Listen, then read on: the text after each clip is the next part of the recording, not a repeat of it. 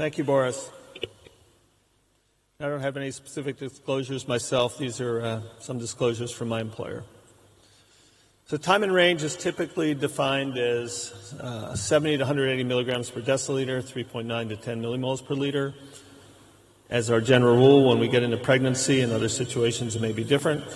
It's important to recognize what will seem reasonably obvious that it's really reflecting time in hyperglycemia.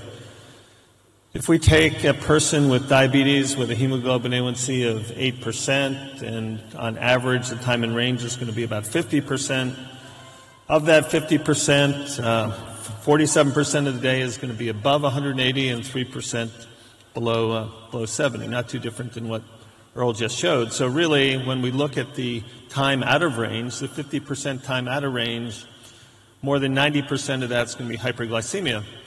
So, it's not then surprising that time in range correlates with other CGM metrics, time above 180, area under the curve, HBGI, or, or mean glucose, with around 0.95 or for higher for most of those. So, it's really when we talk about time in range, for the most part, we're talking about a metric of, of hyperglycemia.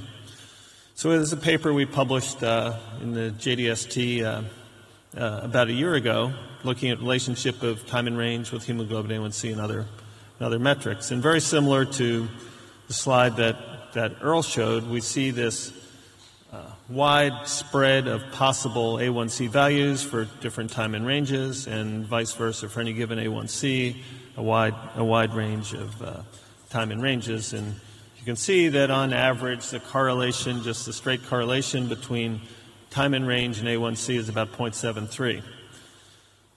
This is from a, a slide uh, presented a talk this morning by uh, Chiara Fabris from uh, University of Virginia, who works with Dr. Kovatchev, showing again very similar discordance frequently between the uh, lab A1C and time and range and correlations of about 0.75 or 0.81. But what, what she did, which was presented in that, in that paper, was try to look at the explanation for the discrepancy. And other researchers have looked at this, and to a large extent, much of it seems like it could be explained by differences in red blood cell lifespan between individuals, or something else that's, that's non glycemic that's affecting, affecting that. So I'm not going to go into the model that was done, but in essence, what was done is they corrected the time and range to make it more approximate to explain this discrepancy with the actual A1C. And when they do that, you can see how much tighter this distribution is with the red circle now representing the distribution and the correlation going from what was about 0.75 or 0.8 now to above 0.93. And just to show where it was before, before that uh, effect on the data was done with, with that equation, you can see what's in the blue and it tightened it down to the red. So again, our correlation improving dramatically. So basically, it kind of, in essence, proves the point that both hemoglobin A1C and time in range or mean glucose are essentially measuring, measuring the same thing. We're all familiar with the DCCT and also with this classic uh, relationship between hemoglobin A1C and complications that you see here, with higher A1C related to uh, complication rates of retinopathy, neur- neuropathy, or nephropathy. And the challenge has been is, although it seems logical, the answer to this question, just from what I just showed, because we have pretty convincing evidence that time in range and hemoglobin A1C are, are from a glycemic point measuring the same thing, that this association by, uh, by association would be strong with diabetic complications and, and time in range.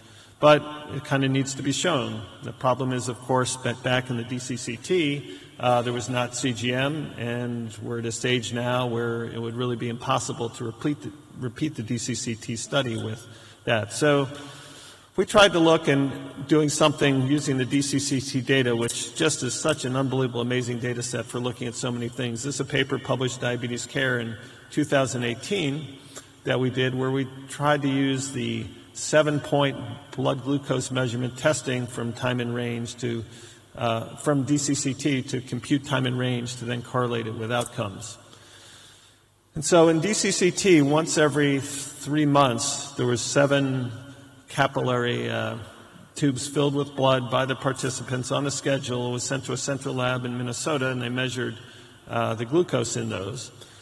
And so that was done throughout the course of DCCT, and fundus photographs were taken for assessing retinopathy, and microalbuminuria was assessed from urine uh, to assess to assess renal function. So we took those data, and this was the completeness, really amazing completeness of the participants in that study doing these seven measurements on those does once, once every three months with 88% of all time points uh, represented, all seven measurements uh, obtained in three quarters of the cases. And then we used a, uh, a computer, computer uh, statistical approach and used multiple imputation for the missing glucose values. And we computed these different metrics, the time in range and these other uh, metrics that are correlated with time and range, in essence, measures of hyperglycemia. Now we used a Cox proportional hazards model to assess the effect of time and range and the other metrics on development of retinopathy or progression of retinopathy and microalbuminuria. And this is, this is what we found to start. So just comparing the DCCT intensive group to the conventional group, uh, the A1C difference, which is uh, well known and published, of 7.3% in the intensive group, and the conventional group of 9.1%. When we look at time and range, we see along those lines uh, time and range difference of about 21% uh, difference between the intensive and conventional groups, and you can see the other, other metrics there. So just taking those seven points and accumulating them, we could see, you know, a reasonable separation similar to what we're seeing with, uh, with hemoglobin A1C. So then we took that time and range data, again, it's from seven measurements once every three months, and then looked at its relationship to, in this slide, development of retinopathy. And you can see as we go across from left to right, the time and range is decreasing from 70% or above on the left to less than 10% on the right, and we see a pretty substantial increase in the uh, progression of retinopathy as we go to lower time and range. And when that's put in the model, we see it equates with having an increase by 64% for each 10% percentage points lower time in range. If we look at 5 percentage points, it was a 28% uh, increase in retinopathy. So how does that compare with DCC with uh, hemoglobin A1C? And so here we see hemoglobin A1C from uh, DCCT on the left and time in range on the right, and it looks remarkably similar in, in appearance uh, here. And then trying to equate what that means, you know, what we did, and we just did this uh, recently, was not in that paper. We said, well, what's the risk with a 0.5% difference in, in hemoglobin A1C? We can see that the retinopathy progression rate increased by 32% for each 0.5% higher A1C, and also for 6.2 percentage point lower time in range. So a lower time in range by 6.2%, in essence, equated with a 0.5% higher A1C with respect to the increase in retinopathy progression. When we looked at microalbuminuria, we see a very similar uh, effect, not quite as strong. Here, the uh, rate for development of microalbuminuria increased by 40% for each uh, 10 percentage points lower time in range. But then when we compare it with what was seen with hemoglobin A1C, it's very, very similar pattern higher A1C or lower time in range associated with substantially greater progression of, uh, of renal disease. So just to su- summarize this, and we'll come back to this, you know, DCCT again, seven, seven blood glucose measurements every three months. Even with that little amount of data, we could see a strong association with vascular complications uh, of, of reasonably similar magnitude to what we saw with the hemoglobin A1C. And there have been a couple other studies recently in the last year or so tried to take what data available with CGM, and there hasn't been very much to uh, compare with outcomes. This is one from China, again published in uh, Diabetes Care a little over a year ago, done by Liu et al., where they had over 32,000 uh, patients with type 2 diabetes. Uh, they had a Medtronic iPro that was used. So the CGM data here we're going to show is only three days of data.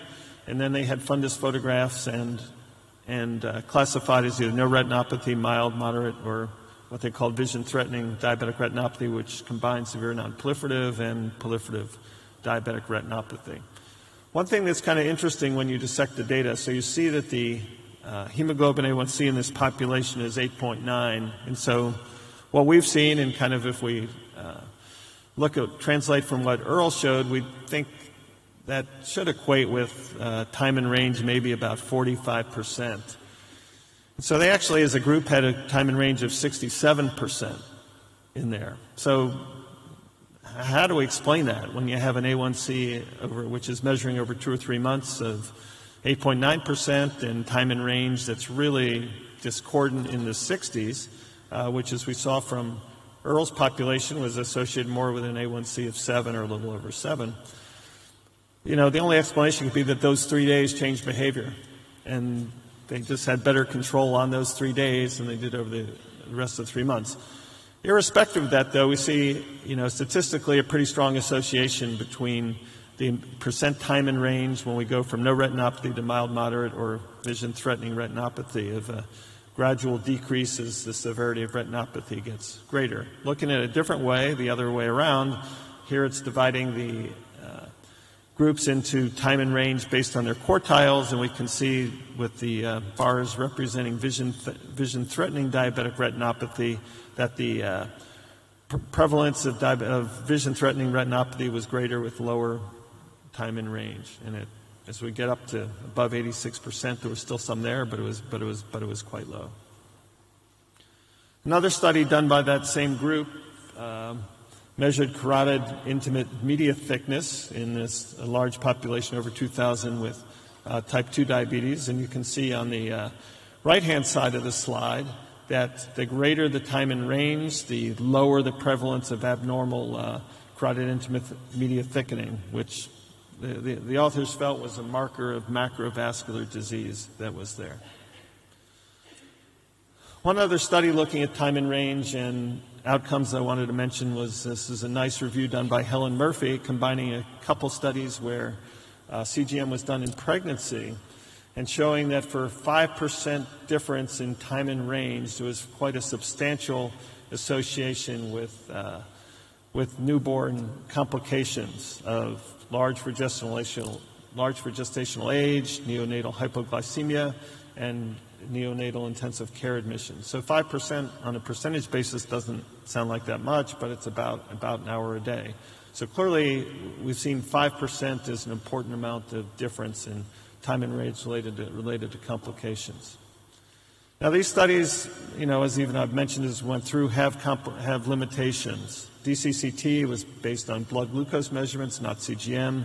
Only one day of seven measurements every three months, but needless to say, even with that little data, we saw a strong association. Uh, the Lu study from China was cross-sectional at one point in time. We really can't assess cause and effect, and in fact, those three days of CGM data don't seem representative necessarily based on the uh, hemoglobin A1C, but nevertheless, we saw a strong association there as well. Irl mentioned this study, um, the PERL study. So, as he mentioned in the PERL study, which uh, was a randomized trial funded by NIH that's looking at uh, whether allopurinol can prevent or reduce progression of renal disease, there was uh, blinded CGM data collected with uh, Libre, funded by uh, Helmsley, to measure these metrics, uh, as uh, Irl showed with the glycemic variability CV. But the key part of that is, is that going to be related to the development of complications? And that's analysis that's in progress, and my understanding is that uh, it may be presented at, at ADA this year. And that's a study that's important for trying to address this prospectively. There's another study that's going to look at that, the uh, DRCR Retina Network that uh, NIH funds, that's coordinated by the Jaeb Center, is uh, about to embark on a study looking at fenofibrate versus placebo in a randomized trial on progression of retinopathy in those who are starting with mild retinopathy. So it would be a group with early disease.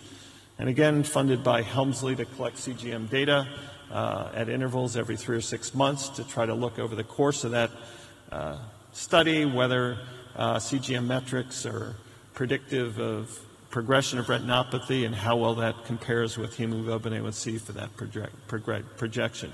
So those studies will help elucidate more information on this topic.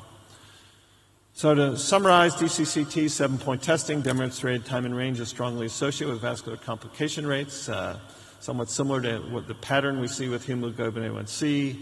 Again, this is just one day of seven measurements every three months, uh, and we certainly might think that that uh, association might be even stronger if we had CGM measured longitudinally with measurements every day. Cross sectional study from China showed a similar association between time and range and retinopathy. And really, I think knowing that with the, uh, with, with the analysis I showed from Virginia of just the close relationship of time and range to hemoglobin A1C, plus what's indirect data in a sense of how CGM measured time and range, or we had blood glucose measured time and range, uh, correlates with these outcomes. It's kind of time to come to realization that this would be an important endpoint for clinical trials. Now, I, want to just leave you with one final note, and this is kind of interesting. We talk about surrogate outcome measures, the surrogate outcome measure we use when we can't really get the true measure we want.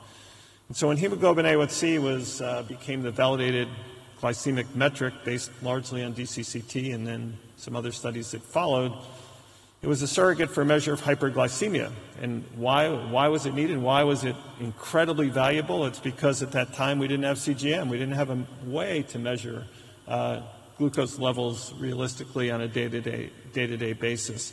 But now with CGM, we can actually get the actual glucose concentrations. So when we have CGM now, I think we really need to th- rethink as an outcome, do we really still need a surrogate for that, which would be hemoglobin A1C? Or whether we're getting all the information we really just need from, uh, from CGM, which would be, you know, my viewpoint on this.